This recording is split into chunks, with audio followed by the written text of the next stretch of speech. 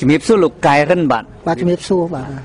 លោកបេខុមអាចថាមានដូចជាចៅចៅទួតឬមួយក៏អាចថាចៅលួតអឺមាននរណាម្នាក់ដែលជាសាច់ញាតិហើយបានសម្លាប់លោកបាដេះហ្នឹងគាត់នៅរស់ឯនៅក្នុងភូមិក្រាំងលាវហ្នឹងមានយើងនៅមានតើបាទនៅមានអឺក្រុមបើនិយាយរួមគឺថាកូនចៅដែលជាអ្នកបានរែងទៅថា សម្រាប់អាសងបាដេះនឹងឯងគឺនៅមានបាទនៅមាននៅមានគាត់ធ្លាប់បាននិយាយយ៉ាងម៉េចខ្លះពីរឿងហ្នឹងប្រាប់លោកមេឃុំបាទឬមួយក៏លោកមេឃុំអាចដឹងរឿងហ្នឹងដោយខ្លួនឯងបានទេដែលបានដឹងព្រឹត្តិការណ៍ហ្នឹងដោយខ្លួនឯងឬមួយក៏បានអឺទទួលព័ត៌មានតាមរយៈការរាយរាប់ពីអ្នកដទៃទៀតប្រាប់លោកមេឃុំអឺចំពោះបញ្ហាព័ត៌មានស្ដីអំពីការសម្រាប់សងបាដេះនឹងឯងគឺខ្ញុំបានចុះទៅស្រាវជ្រាវផ្ទាល់តាមរយៈអ្នកដែលដៃដល់ មកពីព្រោះខ្ញុំបានតន់អ្នកដែលដៃដល់ដែលគាត់បានសម្រាប់រិសដងបាដេះនឹងផ្ទាល់នឹងឯងគឺខ្ញុំបានចុះទៅស្រាវជ្រាវផ្ទាល់បានទៅនិយាយជាមួយគាត់ផ្ទាល់តែម្ដងបាទបានទៅនិយាយជាមួយគាត់ផ្ទាល់ប៉ុន្តែតាមការពិតគាត់និយាយថាយ៉ាងម៉េចទេប្រាប់លោកមេឃុំបាទគាត់បើតាមការពិតទៅគាត់នឹងឯងគឺនៅមានគំនិតខ្លាចរអាច្រើនណាស់បាទពីព្រោះគាត់និយាយហាក់បីដូចជាមានការលាក់លៀនឈ្មោះតកូលរបស់គាត់នឹងឯងគឺมันបញ្ចេញពីព្រោះគាត់គិតថា បើសិនណាជាគាត់និយាយគឺទោសគាត់នឹងឯងគឺទោសអស់មួយជីវិតបាទពីព្រោះបារាំងនឹងឯងគឺថាអ្នកដែលបានសម្លាប់បារាំងនឹងឯងក្នុងសម័យនោះគឺទោសមួយជីវិតទោះបីនៅក្នុងរជ្ជកាលណាក៏ដោយបើសិនណាជាគេដឹងថាគាត់នឹងជាអ្នកសម្លាប់គេហើយគឺគេនៅតែមានសិទ្ធិកាត់ទោសគាត់អញ្ចឹងអូអញ្ចឹងហើយបានគាត់មិនហ៊ាននិយាយប្រាប់លោកមេឃុំទេបាទបាទក៏អត់ហ៊ាននិយាយក៏ប៉ុន្តែពេលដែលយើង ទៅចិត្តស្និទ្ធហើយយើងបាននិយាយប្រាប់គាត់ថាវាអត់មានជាបញ្ហាអីទេអានោះគឺគាត់និយាយប្រាប់យើងអស់បាទគាត់និយាយប្រាប់យើងអស់ក៏ប៉ុន្តែដោយឡែកក្រៅពីយើងគឺគាត់អត់និយាយអស់ទេសូម្បីតែអភិបាលខេត្តអាដាមអភិបាលខេត្តចុះទៅសួរគាត់ផ្ទាល់ក៏គាត់អត់និយាយអស់ដែរឥឡូវហ្នឹងគាត់មានអាយុប្រហែលជាប្រហែលទេលោកមេឃុំហើយគាត់ស្លាប់ហើយបាទទឹមស្លាប់ប្រហែលជា ប្រហែលជាជិត10ឆ្នាំហើយគាត់ស្លាប់គាត់ស្លាប់នៅក្នុងអាយុប្រហែលទៅក្នុងអាយុប្រហែលជាអាយុគាត់ប្រហែលជា80ឆ្នាំជាងគាត់បានប្រាប់លោកមេឃុំថាយ៉ាងម៉េចខ្លះថាគាត់ខឹងយ៉ាងម៉េចបានឈានទៅដល់ការសម្លាប់លោកបាដេះនឹងចោលបាទបាទគាត់ខឹងថារឿងបញ្ហានឹងឯងរេសដងបដេសនឹងឯងជាអ្នកគៀបសង្កត់ឲ្យធ្វើបាបប្រជាពលរដ្ឋជាពិសេសគឺពេលដែលទាពុនដាម្ដងម្ដងគឺប្រជាពលរដ្ឋអត់ហ៊ានណាណានៅ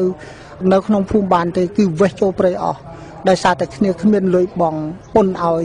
រេសដងបដេសពីព្រោះថាគាត់បាននិយាយថាពីសម័យនោះឯងគឺយើងនៅចាយលុយចំហៀងសេនប៉ុន្តែការដាក់តម្លៃពន្ធ5រៀលអាពន្ធកាត់ផ្នត់5រៀលនឹងឯងគឺថ្លៃណាស់ដូច្នេះរាសនឹងឯងគឺគ្មានលទ្ធភាពបងពន្ធទេអ្នកដែលក្រីក្រល្មមគ្មានលទ្ធភាពបងពន្ធទេអញ្ចឹងពេលណាដែលត្រូវបារាំងនឹងឡើងមកទាពន្ធម្ដងម្ដងគឺថា ប្រជាពលរដ្ឋរត់ចូលព្រៃអស់រត់ចូលព្រៃអបាទស់រត់ចូលព្រៃអស់លាក់អស់ហើយប្រពន្ធកូននេះអត់មានឲ្យនៅទេហើយបើថាជួបម្ដងមកកាលជួងកាលវាចាប់បងអត់បាយអត់អីចឹងទៅដល់ពេលនឹងឯងគឺគាត់នឹងឯងគឺថាវាមានគំនិតដូចថាខឹងសម្បាប៉ុន្តែគាត់នឹងជាតកូលអ្នកធូធាដែរទេគាត់មានលុយបងពុនក៏ប៉ុន្តែរឿងគាត់គឺចាប់ជំនួសអ្នកផ្សេងជំនួសអ្នកផ្សេងបាទដល់ពេលអញ្ចឹងគាត់ក៏ ធ្វើចលនាបបួលគៀងកោប្រជាពលរដ្ឋនឹងប៉ុន្តែគាត់នឹងជាមេចលនាចម្បងគេ បាទជាមេចលនាចម្បងគេអញ្ចឹងទេគាត់នឹងឯងគឺបើតាមការពិតទៅគាត់ជាមេហើយនៅក្នុងសម័យនោះពីព្រោះថាវាមានអឺអ្នកធ្វើអ្នកចូលរួមអ្នកមិនចូលរួមអ្នកដែលខ្សត់ គឺចូលរួមអ្នកដែលគេអ្នកមានទូធាមិនចូលរួមអញ្ចឹងទេប៉ុន្តែគាត់ករណីពិសេសគាត់ធូធាដែរប៉ុន្តែគាត់បង្កើតចលនាដើម្បីសម្លាប់លោកបាដេះនឹងទៅវិញបាទបាទពីព្រោះគាត់អាណិតអ្នកដែលខ្សត់ខ្សោយអញ្ចឹងទេបញ្ហានឹងហើយដែលធ្វើឲ្យគាត់លំបាកនៅក្នុងការលាក់ខ្លួនបាទបាទលាក់ខ្លួនពីព្រោះខ្លាចថាកាលណាបែកការគាត់ជាមេដឹកនាំហើយគាត់មានបែកការគឺគាត់ត្រូវមានទោសបាទបាទមានទុកអស់មួយជីវិតអញ្ចឹងទេគឺគាត់ពិបាកណាស់អាបញ្ហាហ្នឹងប៉ុន្តែឥឡូវគាត់បានលាចាកលោកទៅហើយអាគាត់លាចាកលោកទៅហើយគាត់មានបានប្រាប់លោកមេឃុំឯខាងកាលហ្នឹងគាត់យ៉ាងម៉េចគាត់កាន់ដំបងហើយគាត់វាយបាដេះនឹងសម្លាប់ដោយផ្ទាល់ដៃឬមួយយ៉ាងម៉េចគាត់មានបានរៀបរាប់ព្រឹត្តិការណ៍នោះប្រាប់លោកមេឃុំថាយ៉ាងម៉េចច្បាស់តែម្ដងបាទបាទគាត់រៀបរាប់ច្រើនដែរគាត់និយាយថារឿងបញ្ហាដែលសម្រាប់អាសងបាដេះនឹងឯងមិនមែនជារឿងដែលធ្វើថ្ងៃហ្នឹង កើតថ្ងៃហ្នឹងរឿងថ្ងៃហ្នឹងហើយធ្វើធ្វើថ្ងៃហ្នឹងតែមកមិនមែនទេគឺរឿងនឹងឯងគឺបង្កលក្ខណៈត្រៀមលក្ខណៈនឹងឯងគឺយូរយូរឆ្នាំមកហើយបាទមុនពេលដែលនាងនឹងឯងពីព្រោះថា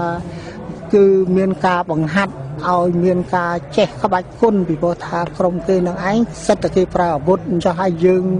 គាត់និយាយថាបើយើងមិនស្ទះគឺសម្រាប់គេមិនបានទេគាត់ស្រីឯប្រុសខ្ញុំអត់បានសួរលោកមេឃុំប្រុសបាទគាត់ប្រុស បាទក្រោយមកនឹងឯងគាត់ជាមេឃុំខាងលាវនឹងដែរបាទក្រោយមកនៅឆ្នាំណាដែរដល់នៅឆ្នាំសម័យសម្ដេចសៀនុហើយជាឆ្នាំ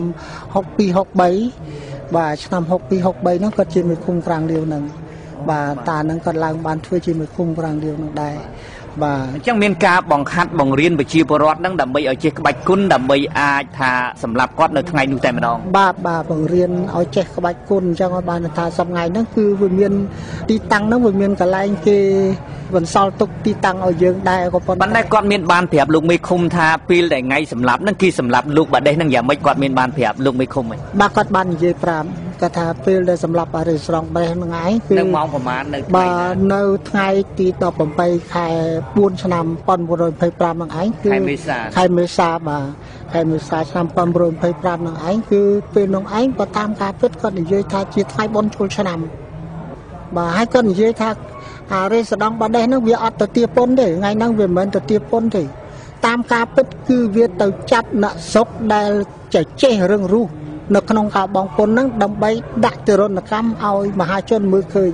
វាព្រោះវាធ្វើនៅក្នុងវត្តក្រាំងលាវហើយពេលនោះវត្តក្រាំងលាវកំពុងតែធ្វើបុណ្យចូលឆ្នាំ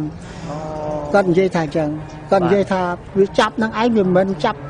និយាយពីរឿងបញ្ហាទីពុនទេគឺវាចាប់ណាអ្នកដែលមិនព្រមបងពុនដែលមិនព្រមបងពុននឹងឯងនៅវេលាម៉ោងប្រហែលដែរឮតាមប្រវត្តិសាស្ត្រថាដូចពេលថ្ងៃត្រង់ពេលបាយតែម្ដងលោកលោកមេឃុំបាទគាត់ដែលតាមគាត់និយាយគាត់ថាហេតុការណ៍ហ្នឹងវាមានពីរវគ្គ វគ្គទី1គឺយាយប៊ីហ្នឹងក្រោយពីពេលដែលគេចាប់ប្តីគាត់យកមកដាក់ខ្នោះនៅក្នុងសាលាឃុំនឹងឯងពេលនោះឯងវគ្គទី1គឺពេលយាយប៊ីហ្នឹងគាត់រលួយបានយកទៅលោះយកប្តី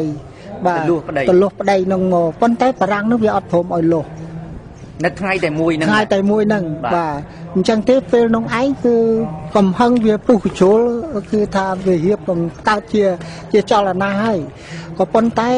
ក្រុមអ្នកដែលដៃដល់នឹងឯងគឺវាអត់អាចចូលទៅគៀកអ្នកដែលកាន់កំភ្លើងបាន បាទហ្នឹងក៏វា